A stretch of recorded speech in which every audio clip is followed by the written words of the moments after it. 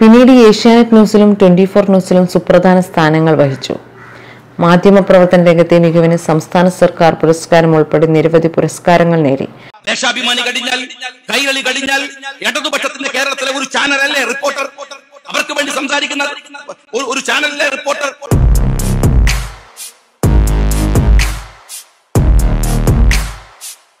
മലയാളം മാധ്യമപ്രവർത്തകരിൽ ഇതിനു മുമ്പ് കണ്ടിട്ടില്ലാത്ത വിധം ആർ എസ് എസ് രാഷ്ട്രീയ ആഭിമുഖ്യം പരസ്യമായി പ്രഖ്യാപിക്കുകയും മോദിജിയുടെ ഭാരതത്തിനായി പോരാട്ടം നടത്തുകയാണ് എന്ന് വെളിപ്പെടുത്തുകയും ചെയ്ത ഒരു മാധ്യമപ്രവർത്തക പ്രമുഖ മാധ്യമത്തിന്റെ നേതൃ റോളിലേക്ക് ജോയിൻ ചെയ്തിരിക്കുന്നു.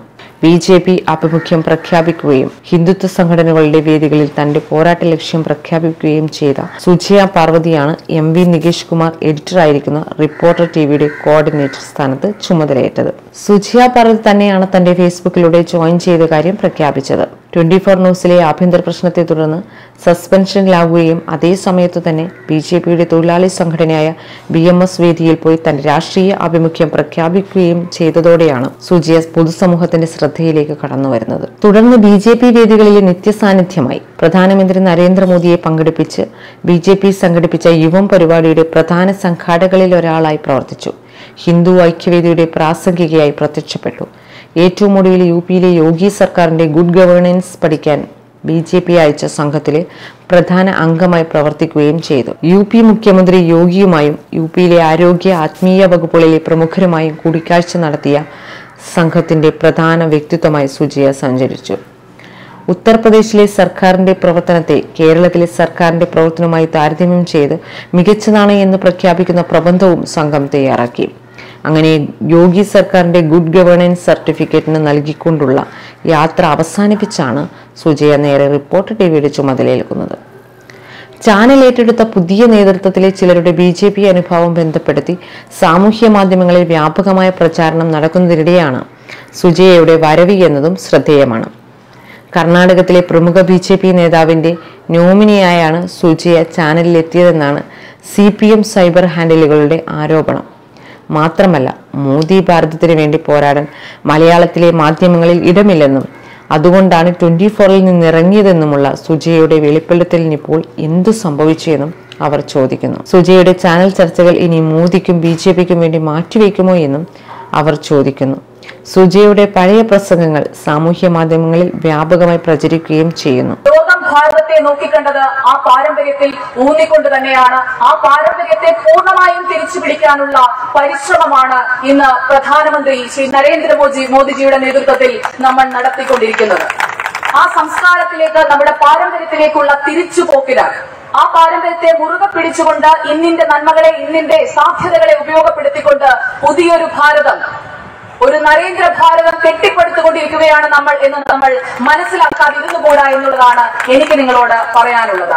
അതേ സ്ത്രീ ശക്തിയുടെ പുതിയ കാല ഭാരതത്തിൽ നിലയുറപ്പിച്ച് ദേശീയതയിൽ നമ്മൾ ഒന്നിച്ചു നിൽക്കുകയാണ്. ആ തിരിച്ചറിവാണ് നമുക്ക് ആദ്യം വേണ്ടത്. നിലപാട് തുല്യത തുടങ്ങിയവയൊക്കെ അതിന് പിന്നാലെ സ്വാഭാവികമായി വരുന്നവ മാത്രമാണെന്നുള്ളതും നമ്മൾ മനസ്സിലാക്കേണ്ടിയിരിക്കുന്നു. മോദി ഭാരതത്തിന് വേണ്ടി പോരാടാൻ റിപ്പോർട്ടറിലൂടെ സാധിക്കുമോ എന്നാണ് അവരുടെ പരിഹാസം. നേരത്തെ ബി എം എസ് വേദിയിലായിരുന്നു സുജിയ തന്റെ നിലപാട് ആദ്യമായി പ്രഖ്യാപിച്ചത്.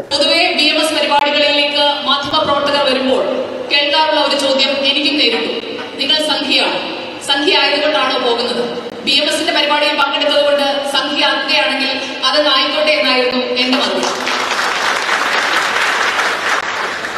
കാരണം ബി എം എസ് എന്ന് പറയുന്നത് സി ഐ ടി യു പോലെയും എ ടി യു സി പോലെയും ഒക്കെ തന്നെ ആദരിക്കപ്പെടേണ്ട അതിനേക്കാൾ ബഹുമാനിക്കപ്പെടേണ്ട ഒരു സംഘടന തന്നെയാണ് രാജ്യം ഭരിക്കുന്ന പാർട്ടിയുടെ അല്ലെങ്കിൽ ആ പാർട്ടിക്കൊപ്പം നിൽക്കുന്ന മറ്റ് പോഷക സംഘടനകൾ സംഘടിപ്പിക്കുന്ന പരിപാടികളിലേക്ക് ക്ഷണം ലഭിച്ചാലും പങ്കെടുക്കാതിരിക്കേണ്ടി വരുന്ന അവസ്ഥ ഇക്കഴിഞ്ഞ വർഷങ്ങളിൽ എനിക്ക് ഉണ്ടായിട്ടുണ്ട് എന്നത് തുറന്നു പറയാനും ഞാൻ ആഗ്രഹിക്കുകയാണ്.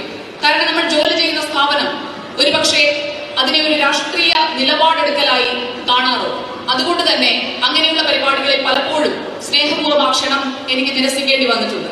അതിലുള്ള ഒരു ക്ഷമാപണം കൂടിയാണ് ഇന്നത്തെ ഈ വേദിയിലെ അതേസമയം സ്വതന്ത്ര മാധ്യമ പ്രവർത്തകയായി തുടരുമെന്നാണ് പ്രഖ്യാപനമെങ്കിൽ പഴയ പ്രസംഗങ്ങൾ പിൻവലിക്കുന്നുണ്ടോ എന്നും സി പി എം സംഘങ്ങൾ ചോദിക്കുന്നു. എന്നാൽ എഡിറ്ററുടെ ചുമതല ജീവനക്കാരൻ എന്ന നിലയിൽ നിർവഹിച്ചു വരുന്ന M V Nikesh Kumar channel വിടുമെന്ന സൂചനയും ഉണ്ട്. നിലവിലെ മാനേജ്മെന്റിനുള്ളിലുള്ള ചാനൽ കൈമാറ്റം പൂർണമായാൽ നികേഷ് ചുമതലകളിൽ നിന്നും ഒഴിഞ്ഞേക്കും. ജൂൺ ആദ്യവാരത്തോടെ ശക്തമായി മലയാളം ന്യൂസ് ചാനൽ രംഗത്ത് നിലയുറപ്പിക്കാനാണ് ചാനൽ ലക്ഷ്യമിടുന്നത്. അടുത്ത മാസം നികേഷ് ഒഴിയുമെന്നും സൂചനയുണ്ട്. അതേസമയം മലയാളം ന്യൂസ് ചാനലുകളിൽ കേബിൾ വഴിയുള്ള വിതരണത്തിൽ ഏഷ്യാനെറ്റിനോട് മത്സരിക്കാനാണ് റിപ്പോർട്ടർ ഉദ്ദേശിക്കുന്നത്. A C V Kerala Vision തുടങ്ങിയ ചാനലുകളിലെ ആദ്യ ന്യൂസ് ചാനൽ നമ്പർ സ്വന്തമാക്കാൻ അവർ കോടികൾ ചെലവഴിച്ചു എന്നും റിപ്പോർട്ടുണ്ട്. എന്തായാലും സുജിയാൽ അകത്ത് കയറുകയും നികേഷ് ഒഴിയുകയും ചെയ്യുമ്പോൾ നിഷ്പക്ഷതയെക്കുറിച്ചുള്ള ചോദ്യങ്ങളാണ് ഏവരും ഉയർത്തുന്നത്. അതേസമയം റിപ്പോർട്ടർ ടിവിയുടെ വെബ്സൈറ്റ് സുജിയ ചുമതലയേറ്റ വാർത്ത വലിയ ആഘോഷമായാണ് നൽകിയിട്ടുള്ളത്. സുജിയെക്കുറിച്ച് വിശദമായ കുറിപ്പ് തന്നെ വെബ്സൈറ്റ് നൽകുന്നുണ്ട്. അതിലെ പ്രസക്ത ഭാഗം ഇങ്ങനെയാണ്. കൈരളി ടി വിയിൽ മാധ്യമപ്രവർത്തകയായിരിക്കെ രണ്ടായിരത്തി എട്ടിലെ മുംബൈ ഭീകരാക്രമണം നടന്നതിനെ തുടർന്ന് സംഭവബഹുലമായ ആ മൂന്ന് ദിവസങ്ങളിലും രാത്രിയെന്നോ പകലെന്നോ വ്യത്യാസമില്ലാതെ വാർത്തകൾ ജനങ്ങളിലെത്തിച്ചത് സുജയുടെ മാധ്യമപ്രവർത്തന ജീവിതത്തിലെ നാഴികക്കല്ലായിരുന്നു. രണ്ടായിരത്തി പതിനെട്ടിൽ കേരളത്തിലെ മഹാപ്രളയകാലത്ത് ഏഷ്യാനെറ്റ് ന്യൂസിന് വേണ്ടി സുജിയ നടത്തിയ വിശദമായ റിപ്പോർട്ടിംഗ് വലിയ ശ്രദ്ധ നേടിയിരുന്നു. ദുരിതബാധിത പ്രദേശങ്ങളിൽ നേരിട്ടെത്തി ദുസ്സഹമായ ജനജീവിതത്തെക്കുറിച്ച് വിശദമായ റിപ്പോർട്ടിംഗ് നടത്തി. സുജിയെ അവതരിപ്പിച്ച കരകയറാത്ത കേരളം പോലുള്ള ടെലിവിഷൻ പരിപാടികളും പ്രളയകാലത്ത് ജനശ്രദ്ധ നേടി. രണ്ടായിരത്തി ഏഴിൽ ദൂരദർശനിൽ അവതാരകയായാണ് മാധ്യമ പ്രവർത്തന രംഗത്തേക്കുള്ള സുജയയുടെ പ്രവേശനം. പിന്നീട് ജീവൻ ടി വിയുമായി ചേർന്ന് പ്രവർത്തിച്ചു. ഡൽഹി ബ്യൂറോ ചീഫായി ചുമതലയേൽക്കുന്ന കേരളത്തിൽ നിന്നുള്ള ആദ്യത്തെ വനിതാ മാധ്യമ പ്രവർത്തകയാണ് സുജിയ. ജീവൻ ടി വിയോടൊപ്പം പ്രവർത്തിക്കുമ്പോഴായിരുന്നു സുജിയ ഈ നേട്ടം കൈവരിച്ചത്. പിന്നീട് ഏഷ്യാനെറ്റ് ന്യൂസിലും ട്വന്റി ഫോർ ന്യൂസിലും സുപ്രധാന സ്ഥാനങ്ങൾ വഹിച്ചു. മാധ്യമപ്രവർത്തന രംഗത്തെ മികവിന് സംസ്ഥാന സർക്കാർ പുരസ്കാരം ഉൾപ്പെടെ നിരവധി പുരസ്കാരങ്ങൾ നേടി. ട്വന്റി ഫോർ ന്യൂസിൽ ഓഗ്മെന്റഡ് റിയാലിറ്റി സാങ്കേതികവിദ്യ നടപ്പിലാക്കിയപ്പോൾ വാർത്താ അവതാരകയായ സുജിയ തന്റെ കരിയറിൽ വലിയ മുന്നേറ്റം നടത്തി.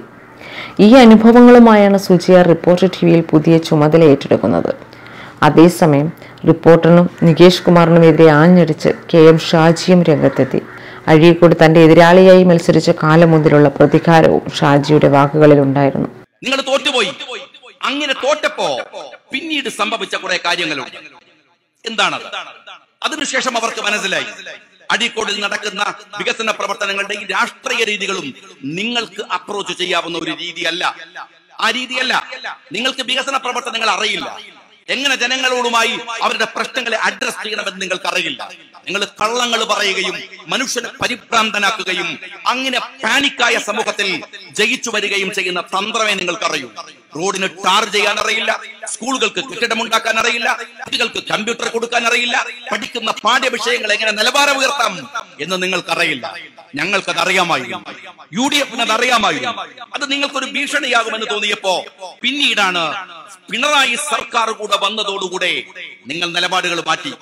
അപ്പോഴാണ് കേരളത്തിലെ ഏറ്റവും വൃത്തികെട്ട മീഡിയയുടെ മാനിപ്പുലേറ്റർ ആയിരുന്ന ആ തെരഞ്ഞെടുപ്പിലെ രണ്ടായിരത്തി പതിനാറിലെ സ്ഥാനാർത്ഥി. ആ സ്ഥാനാർത്ഥി കള്ളക്കഥകൾ മെനഞ്ഞ് ഏറ്റവും മോശപ്പെട്ട ഒരു നോട്ടീസ് ഇറക്കി. അഴീക്കോട്ട് ഞാൻ ഇപ്പോഴും പ്രസംഗിക്കുമ്പോഴും എന്നെ കേൾക്കുന്ന അഴീക്കോട്ടിലെ അവസാനത്തെ ആൾക്കും അറിയാം.